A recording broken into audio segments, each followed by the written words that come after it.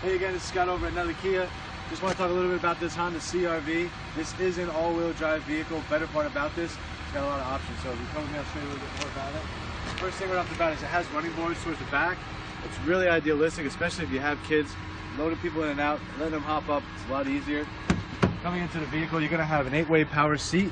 You're also going to have a sunroof in this vehicle. This does have leather all the way around, so it takes it, it makes it nice and easy for you to clean. Sunroof up top. Best part about it is it is a 2012. It only has 39,000 miles. By industry standards, it should have about 48,000 miles.